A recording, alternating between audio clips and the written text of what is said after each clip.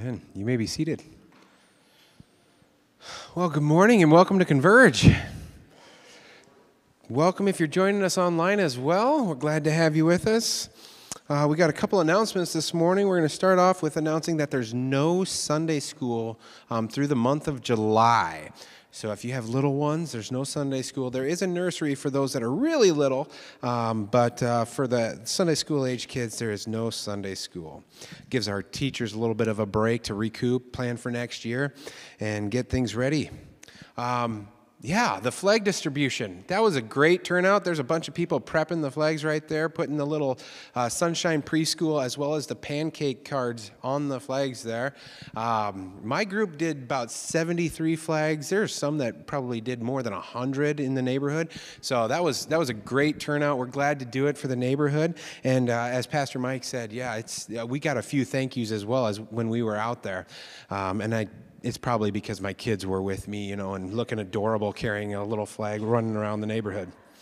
Um, our next announcement here is uh, Family Fun Night. That's coming up at the end of the week. That's July 7th. That's our next one. So if you, if you don't have enough uh, things going on this week already, uh, we, we would love to see you. Um, it starts at 6 I think, um, on, on Friday there. So if, if you want to come out, play a few games, uh, socialize with everyone that comes out, eat a hot dog or two, um, there's always watermelon. There's always watermelon. So um, yeah, we're, we're looking forward to seeing you there as well. Um, then we have uh, Help Wanted. If you have a particular set of skills, we are looking for you. We have we have skills that are needed back here in the sound booth, as well as with the kids in the nursery. There's lots of opportunities to help out in the church. Um, all you have to do is contact Pastor Mike, and he'll hook you up with the right spot. Hey, you might have to tell him what your skills are, though. All right. Um, next, we have uh, uh, pancakes in the parking lot. That is Tuesday. I am looking forward to it. Uh, I usually make pancakes on Saturday, so this is going to throw my routine off a little bit. But um, yeah, I'm looking forward to it. There's there's always great fun happening there. Um, lots of people helping out already. We got the sign up sheet that went out, and um, got lots of names on there already. So thank you for that. Um, and that kicks off, I think, at nine. Yep. So nine o'clock. Uh, if you're helping set up, I think 8.30 is the time to set up. So we're looking forward to seeing you guys. And uh, then later in the afternoon, we have the, the 4th of July celebration that the church puts on. Bring fireworks. There's lots of little games. There's watermelon eating contests. Maybe dress up as Uncle Sam if you can, you know, if you have that ability. Um, yeah, we're, we're looking forward to it. It's always a good time. So come on out and celebrate with us. Uh, then we have uh, Deb and sorry, Deb and Larry Harold have an announcement for us. So we're going to listen to what they have for us. Hello to all our church friends, and thank you so much for the prayer and support for both Deb and me. Yes, it's been a rough couple months, mm. and uh, it hasn't gone the way we wanted it to go. No. But through it all, we love and trust our God. As a good dear friend told us, and it's kind of become our mantra, life is hard, God is good, blessed be the name of the Lord. Mm-hmm. He starts chemo on July 13th, so we are praying that he'll stay infection free till then and through then so he can get the chemo in his system. Mm-hmm. So thanks again and goodbye. We miss you. See them, huh? Uh, yeah, it has been a hard road for uh, Deb and Larry. Uh, you know, it's a pretty dire situation when you're trying to get healthy enough to start chemo. Um, but their spirits are, are up and they are working through those challenges they come, and they're uh, a great testimony for the Lord through the trial that they're experiencing. They're consistently expressing their joy and their faith in Him. Hey, does anybody uh, anybody remember on the sign up sheet? I think Tyler meant, said like 8:30 for if you're help setting up, but it's earlier than that for this one. Does anybody remember? It's pretty early for setup team. 7:30. Yeah, uh, we got to set up some extra things. Thank you, Phil. Um, so if you're on that signed up, I just didn't wanted to make sure that we didn't get signals crossed. Um, we are looking at 7.30 for the setup team um, for that day. Let's go to the Lord in prayer, shall we? Our Heavenly Father, we thank you for uh, the, the ability to, uh, even if we, if we, even if we can't see Deb and uh, Larry here regularly, I know that uh, the immune system being down means that they can't mingle with people as much as that they, that they would like to. Um, but uh, what a privilege to be able to get a little bit of a taste of where they're at through a video like this. And and we pray that even today, I pray that they wouldn't feel isolated and alone on an island with this, with this suffering. I pray that they would know that even as we um, watch, that our hearts go out to them and that their good friends have not forgotten them, but continue to pray. And we do pray. We ask that you would give um, Larry strength. We pray that he would be infection free and uh, that his health would improve to the degree that they could continue the treatment that they have uh, chosen. Heavenly Father, our hearts also go out to Sharon Reed. We pray that your, uh, your spirit would be with her to give her peace. She is uh, looking forward, even with joy, uh, to homecoming. And uh, so we pray that in these days you would be her constant companion and that she would have a peace that passes all understanding. Heavenly Father, our prayers uh, go out even beyond the local community here in the church. Uh, we do pray for the activities that are taking place uh, on, uh, well, this whole week, but especially with the pancake breakfast as we play host to the neighborhood. We pray that a good number would come in again. Uh, you've always blessed us that way. Help us to serve them well. Help us to, to see and anticipate needs. Help us to bring a smile. Um, just the, the, statistics tell us that people are hurting, people are depressed, people are grieving all around us, and, and help us to be a bright light, um, not to demonstrate our own strength and resilience, but to reflect Jesus Christ to the people who come. Our dear Heavenly Father, um, we also pray beyond this area. Uh, I'm, I'm thinking of France this morning. France is on my heart um, as the riots have continued there for days. Um, those who have sworn themselves to uphold the law are in, in danger's way. Uh, people who are, uh, have no interest whatsoever in the violence are being caught up in things that they don't want to be a part of. And uh, Heavenly Father, there is trouble in that country. And I pray again that your spirit of peace would descend on that place, that people uh, who have evil intentions would be uh, their, their plans and their plots would be thwarted, uh, would be frustrated on every hand, and I pray that peace would descend.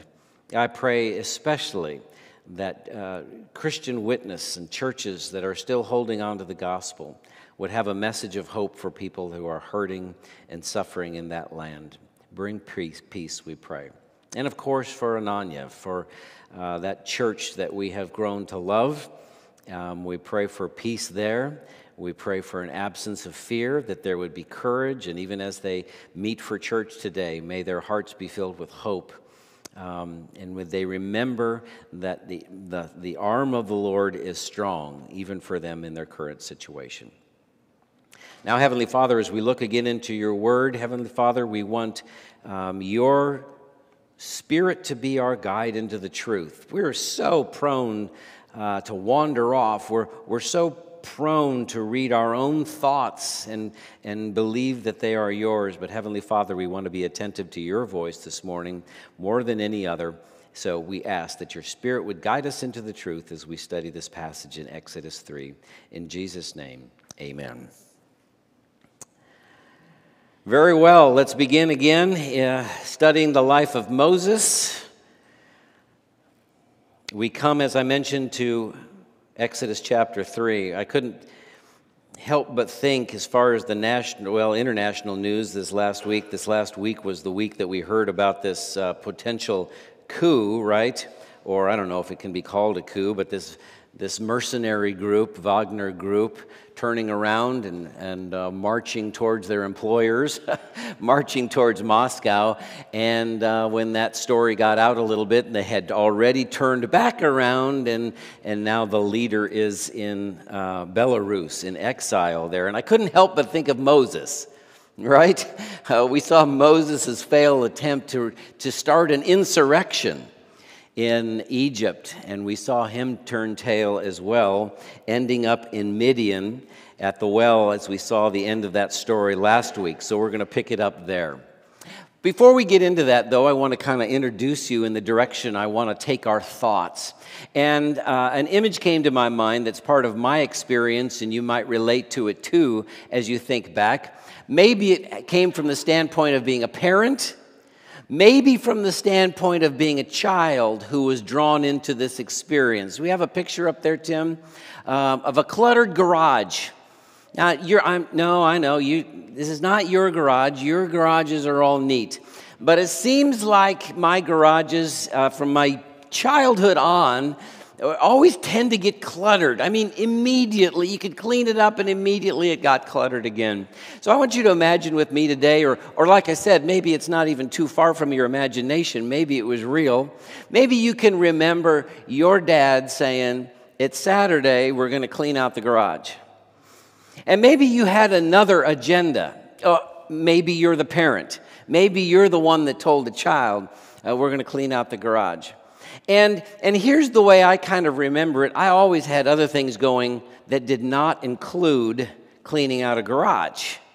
And so I'm thinking, how am I going to work this in? And, and being the eager beaver that I was, I would do something like, oh, I'll get ahead of it. So I don't miss the ball game. I don't miss playing Army in the ditch or whatever. We actually played outside when I was a kid. Um, but anyway, what, to get on with what I'm going to do, I'm going to get ahead of this. So grab the keys, back the car out of the garage, and sweep where the car was. Sweep where the car was. I cleaned the garage, right?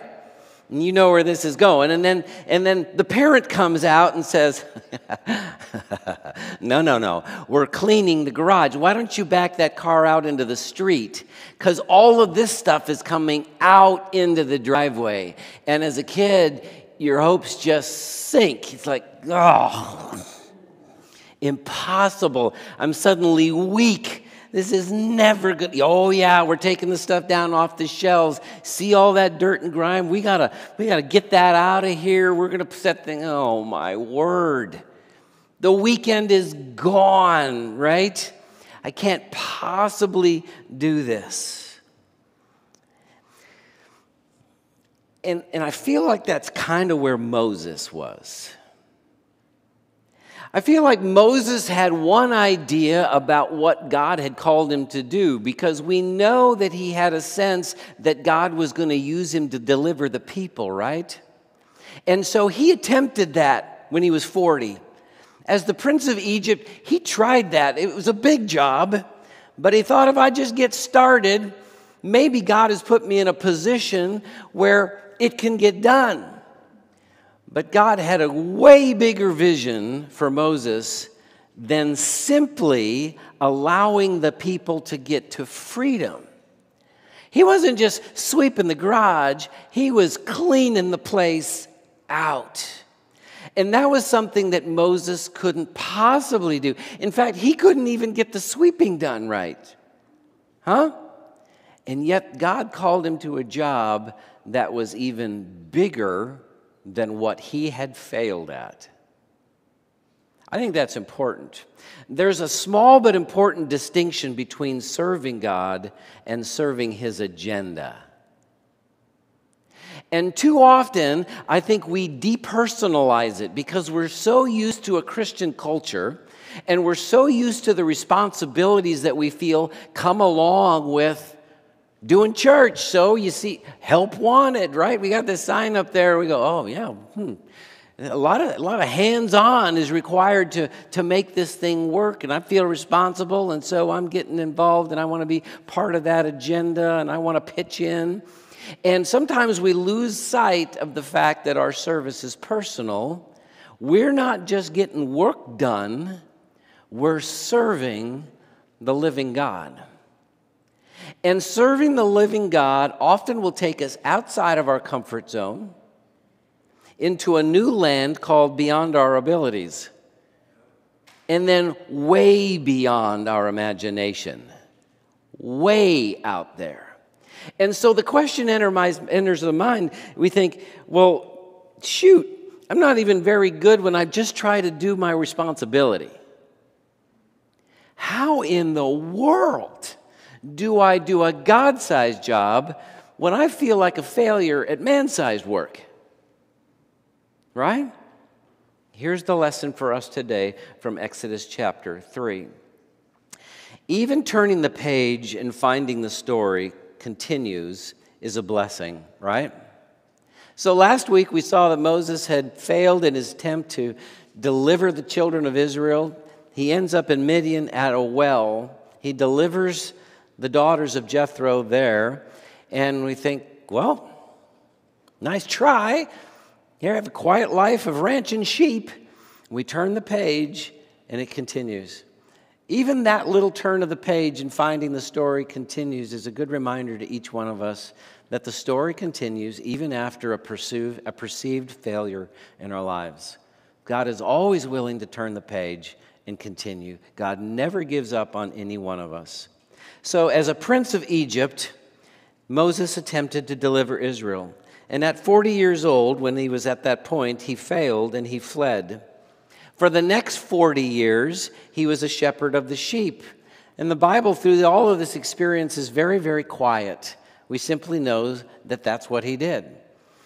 He was a part of the, the extended patriarchal family of Jethro, and he had married into that family, and he was a shepherd of sheep in Midian. Now he's 80 years old.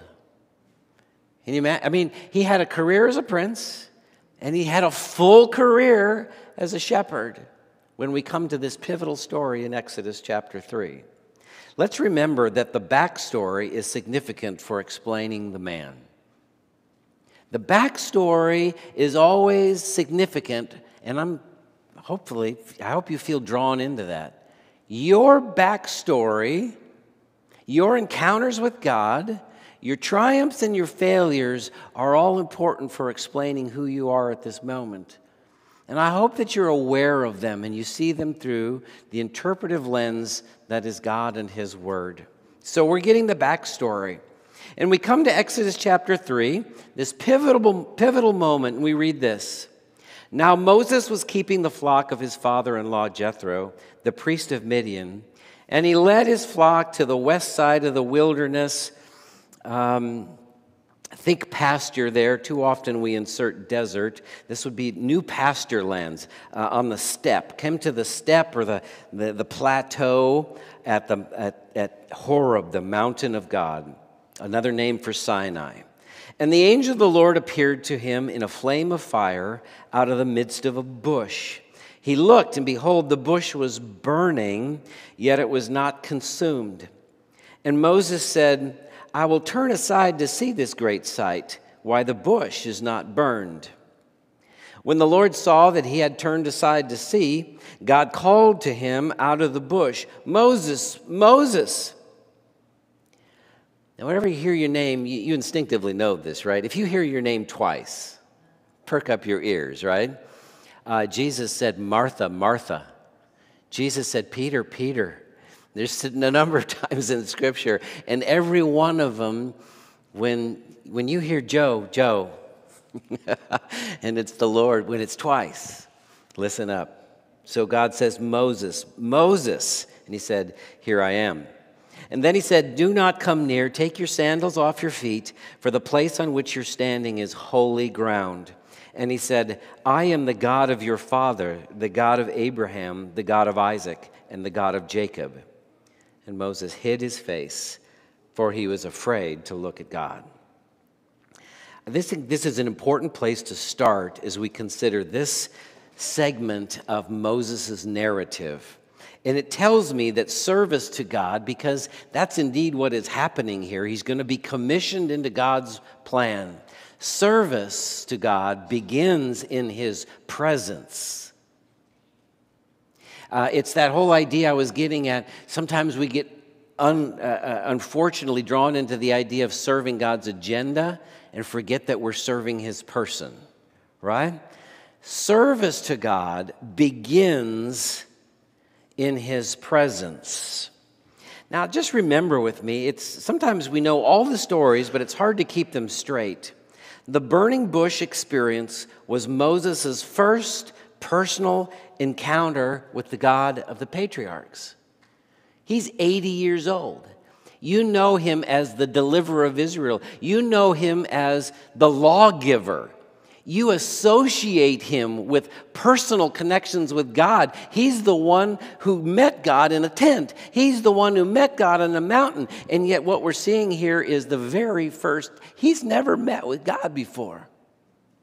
There are stories that told him God spoke to Abraham. There's stories that God spoke to Jacob, all the patriarchs. He's never met God before.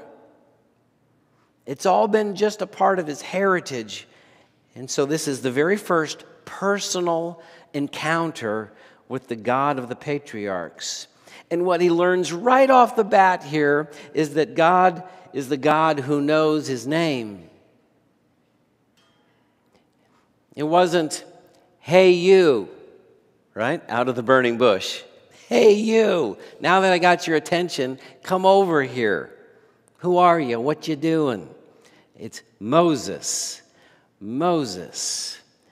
In a personal encounter with God, you discover in a very deep, satisfying way that God knows you personally.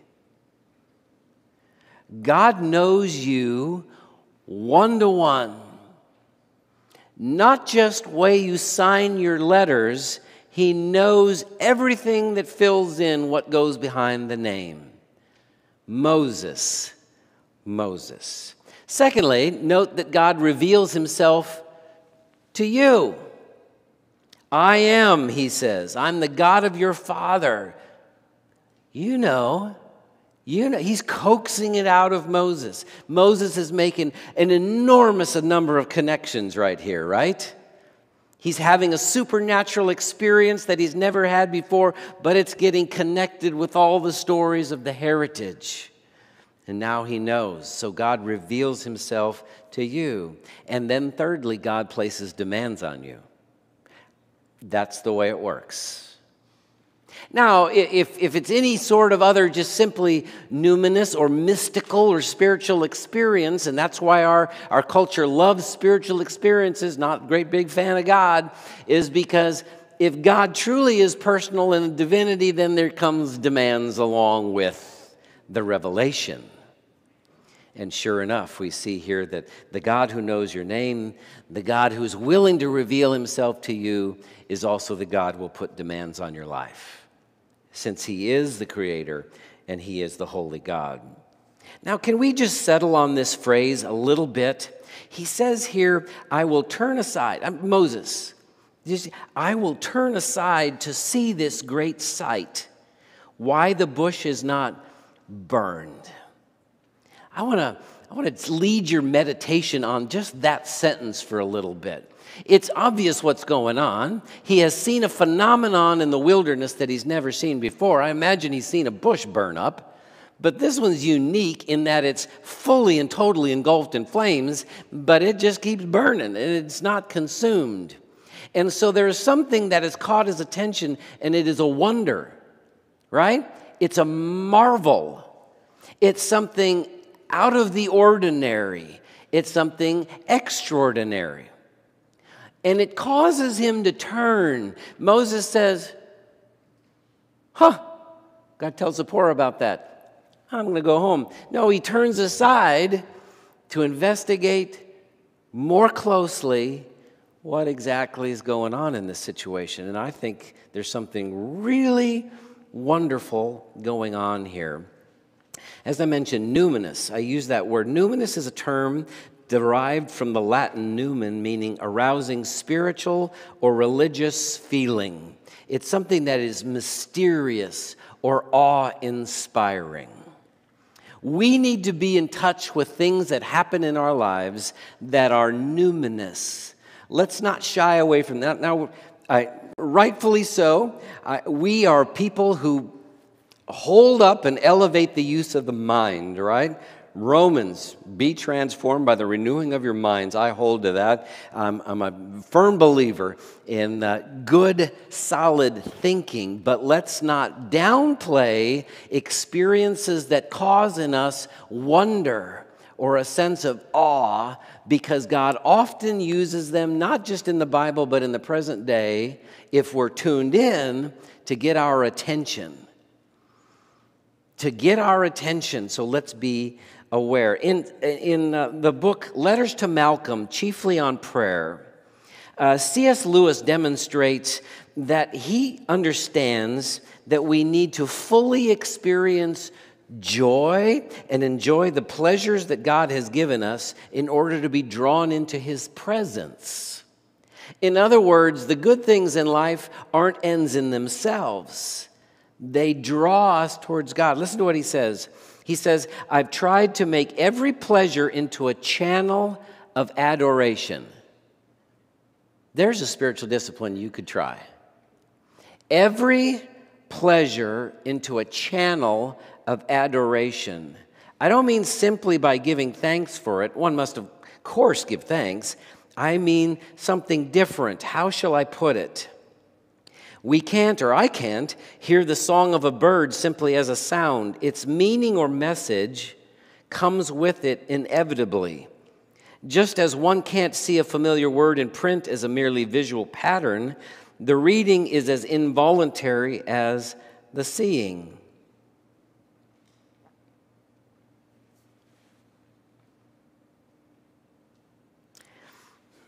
I'm sorry, I'm skipping down a little bit here. He says, The sweet air whispers of the country from whence it blows. It is a message. We know we are being touched by a finger of that right hand at which there are pleasures forevermore.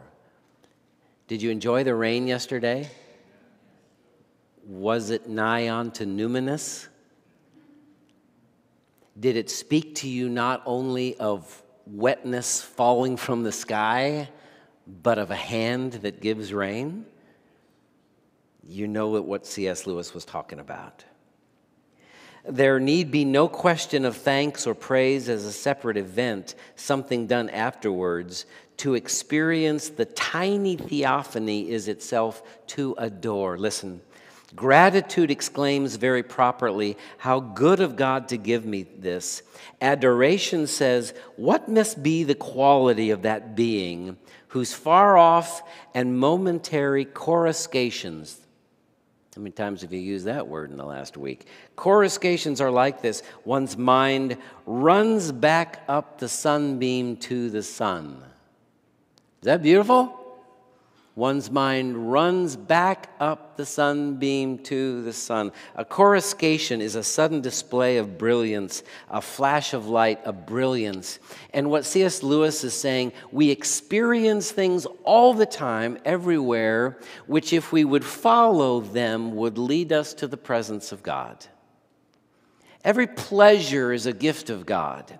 Every pleasure is an invitation into the person of who he was, who he is. And notice that Moses, when he saw this burning bush, which was a wonder, which was a coruscation, say it with me coruscation. That wasn't very good, but anyway, um, what he did was he turned aside, right? He turned aside to see what was up with this. And all I'm doing is I'm encouraging you. Since service begins in God's presence, I'm going to say, well, you're asking me, how do I get into God's presence? Follow the sunbeam to the sun. Connect your experiences of delight and pleasure with the God who gives every good and perfect gift. Follow it. He's got burning bushes all over in your life follow them, turn aside, take time to meditate, and follow them into God's presence. running back up the sunbeam to the sun will be your burning bush, it will be your holy ground. It's no mistake that Moses' encounter with God comes before his commission. The encounter with God, this worship comes before his commission, right? It's critical. Let's imagine it the other way. Let's imagine this whole story a little bit differently if we could. Imagine it's Moses' 80th birthday, right? Uh, they have to keep waking him up to blow out the candles, right? He's nodding off at the table there a little bit. I'm sorry. Uh, he's not really into the party. He's a little moody and reflective. It's 80 years, for heaven's sakes. And so he steals away from everyone who's dancing around the fire singing la la la la la la. He's a little tired of that by now. And he steals away to a quiet place by the side of a tent. He takes his, he, he takes his journal with him. And as he flips through and he reviews his life, what sticks in his mind? A signal failure 40 years ago I, well, I had one big flash and it was a failure, and after that, it was pretty much just dragging sheep around the desert. This is my life. And then, as repulsive as and impossible as it sounds, he thinks, well, I suppose I'll never feel fulfilled if I don't go back and try again. Can you imagine if the whole idea of going back to Egypt would have been out of a burden of personal responsibility? Shoot. I've been avoiding this for 40 years. I was a disaster as a prince of Egypt. I don't know what a shepherd does, but I might as well die trying. Here we go. I'm going to crawl back across the desert and no, no, no, no, no. It doesn't work that way. You don't rise up out of a sense of simple responsibility and obligation and go back and do what was the seminal failure of your life. The commissioning of Moses comes out of communion with God, it transforms the whole idea. And your service must too. Not out of obligation, but a sense that God is going with you. That God is going to go with you into whatever He calls you.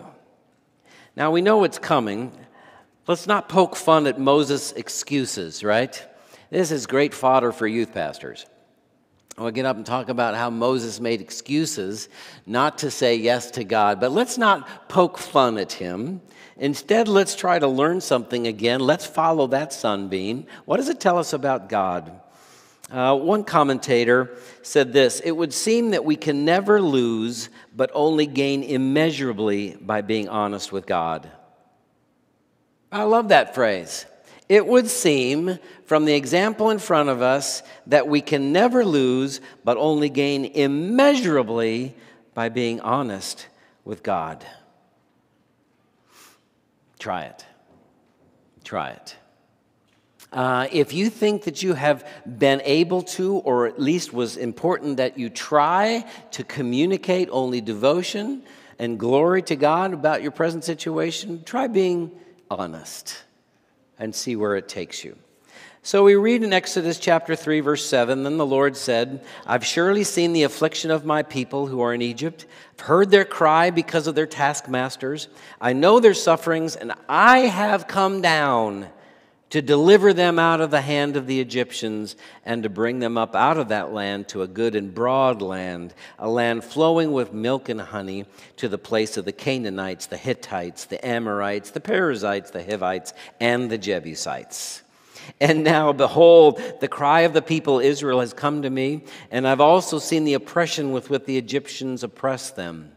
Come, I will send you. I've come down to deliver Come, I'll send you to Pharaoh, that you may bring my people, the children of Israel, out of Egypt. But Moses said to God, here's the first of five dodges, all right? But Moses said to God, Who I am that I should go to Pharaoh and bring the children of Israel out of Egypt. And he said, But, but I will be with you That conversation should have ended right there, right? Well, hopefully it will for us. It doesn't, continues to be instructive. He said, But I will be with you, and this will be a sign for you that I have sent you. When you bring the people, have brought the people out of Egypt, you all together, that's a plural there, you all together will serve God on this mountain where we're standing right now. You're going to come back to this mountain with all of Israel around you, and you're going to remember this day, Moses. And it will be a lasting testimony. testimony. Moses offers five dodges. Um, I'm not sure if we can be absolutely positive about the tone, but the last of these dodges seems to indicate that we know where he was going all along, because on the very last one, he says, Send someone else, right? So he's got all of these different things, but having had those answered, the very last thing he brings up with God is simply, no, can you find someone else? So I tend to think that that's where he's going all along.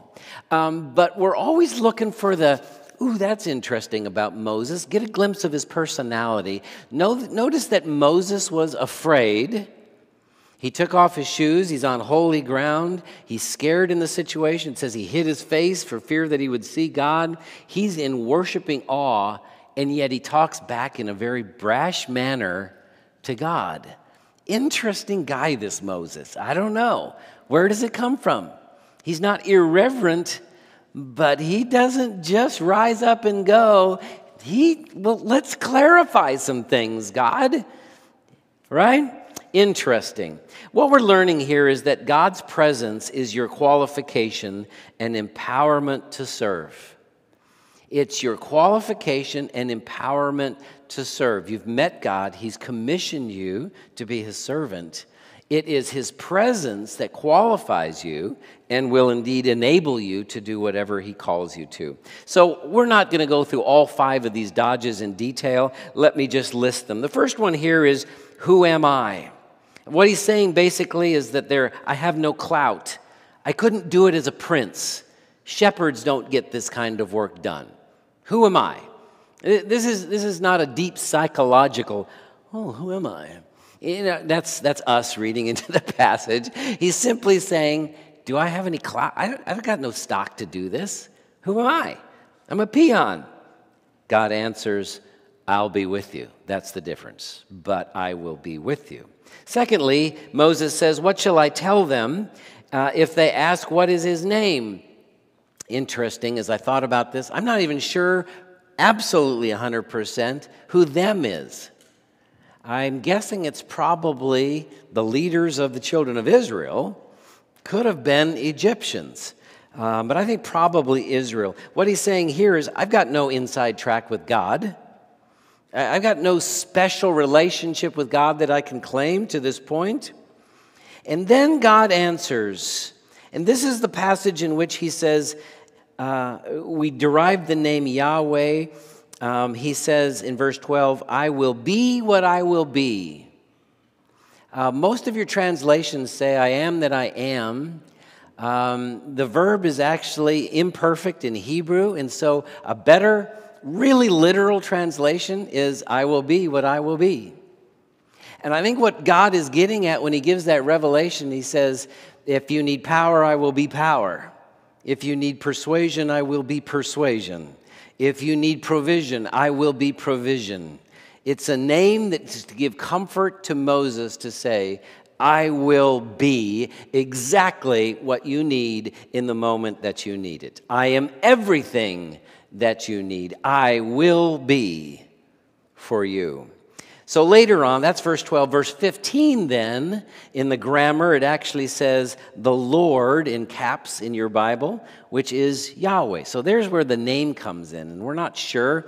The name is Yahweh, is related, of course, to Hebrew Ehyeh, the, the, the imperfect I will be, and it's more like I am. Uh, boy, commentators have filled volumes trying to make the, the association connection, but from that time on, the Hebrews know the Lord as Yahweh. Third objection they will not believe me. I have no credibility. And God gives Moses three signs a staff that becomes a serpent, his hand that becomes leprous inside his cloak, and then the third one, water will become blood. The fourth one, Moses says, I am not eloquent. I can't do this. I'm not eloquent. I have no natural abilities or skills with which to get this job done. Which is interesting because in Acts, Stephen says he was mighty in word and deed. Again, I'm not sure what that means. Is this just self deprecation? Moses is saying, Yeah, I don't believe in myself. Had something happened in this whole exchange with Pharaoh and 40 years in the wilderness that he's saying, You know what? Not quite as quick as I used to be. I don't know. Stephen says when he was a prince, he was mighty in word and deed. When you get to 80, Moses himself says, uh, Look for somebody else. I'm not that great. Okay? Interesting. And then the last one please send someone else. Moses communicates, I really don't have any desire to be the deliverer. I'm a shepherd now. I got a life, I got a family, I got sheep. I know my way around this job right here. And God says, Tell you what, I'm going to give you Aaron. You got to do this with your brother. I did that with my family sometimes when kids didn't want to do things. Do you think this is an odious chore to do yourself? Now do it with your brother. Oof, that's just rough. That is rough. Anyway, God answers all of his questions, all of his dodges. God persistently deals with Moses' fears with this assurance I will go with you. Uh, a little bit of an illustration. Um, the child is afraid at night. There's monsters under the bed. You're going to have trouble as a parent trying to convince the kid there's no monsters under the bed, right? Because as soon as you sweep around under there, you demonstrate that those no monsters, and you walk out the door, well, how about if there's monsters now? Now that you left, right? Monster eggs hatch, they're really quick. And so you never know. The only solution is if dad or mom will say, Tell you what, I'm going to stand guard. No monster's getting to you that doesn't come through me. I will be with you. My presence is there. Here's what God says I'm going to call you to something that you failed before in a small version of. I want you to do something impossibly great and bigger, but I'll be with you. I don't want you to sweep the garage. I want you to clean the garage, but this time I'll help you. This time my presence will be with you. Many people try on a little bit of religion with the high aspiration of staying out of trouble. Uh, I like to go to church, kind of keeps me out of trouble. Live a decent life. God wants so much more for you. Listen, a man wants to hold down a job. God says, Well, that's tough. But I'm calling you to represent Jesus Christ at your work in everything that you do. A gal wants to manage a productive schedule. God says, I want you to redeem the time because the days are evil. I got something way bigger than simply managing time. The couple wants to raise kids. God says, hey, raise kids, fine. I'm calling you to teach your children diligently to pass on God's word when you sit, when you stand, when you rise up, when you go along the way. I got a way bigger job than simply the one that's easy to fail at, which is raising. I got something way bigger. She hopes to keep contact with friends. God calls her to encourage and to mentor. They're committed to attend church. God wants them to worship in spirit and truth, week in and week out. He finally agrees to teach Sunday school. God calls him to shepherd God's little flock of preschoolers. She takes her turn in the nursery. God calls her to patient, nurturing, and selfless love modeled after the, the example of Jesus Christ. Do you see where we see things and we sometimes have successes and we sometimes have failure, and, some, and, and all the time they're shooting lower than God intends? He wants to give you a mission that is incomparably greater than something that you can simply slap a label on and say, I'm doing this job, I'm, I'm filling this role, I'm filling the slot. He's called you to a mission impossible. And the difference is, he says, I'm going to go with you. I, um, I'll be with you. To sum it up, we fail to live up to our own convictions, and God calls us to love the Lord your God with all your heart, soul, and mind and strength. And you say, Who am I? I can't even live up to my own standards. Who am I? And he says, Yes, but with your spirit, my spirit within you, as you abide in my Son, Jesus Christ, I'll go with you. I'll go with you. God's calling you to something that's huge. And I'm not talking about the help wanted sign on the screen. I'm talking about God calling you to a life of holiness, a life of love for your neighbors. Our world's just eh, talking about tolerance every single day. Forget, I almost said something stronger tolerance. Love. Jesus says, love. Love. You say, Well, I can't even tolerate. How can I love? He says, It's okay. You're not going alone. All right, let's pray. Heavenly Father, thank you for uh, the lessons again from Moses. Thank you that we not only read a story and find it entertaining or interesting or thought provoking, but we can take these lessons and we realize that uh, you still work with people in the same way. And I pray that we would learn the lessons of Moses, that we would commune with you in a way um, that our worship would drive our commitment to your plan for us. And then that we would see that your presence is what qualifies and enables us to do whatever your calling is on our life. Thank you for never leaving us alone to do this work. Thank you in Jesus' name. Amen. Glad you're with us this morning. Um, I want to say a, a, word, especially to those who have been tuning in online or might later. Uh, if you've got any questions, we'd love to hear questions. We love to invite conversation. In fact, what we're going to do immediately after breaking up from the service here is try to turn comments into conversation. So we'll be dividing up into groups throughout uh, the church facility here. We'd like you to be a part of one of those if you can stay and um, we can get you hooked up if you're not in one already. Obviously, if you have been listening to this online, uh, that's not available to you, but I want you to know you can always contact me at mike at convergechurchomaha.org. I'd be happy to enter into a conversation with you as well.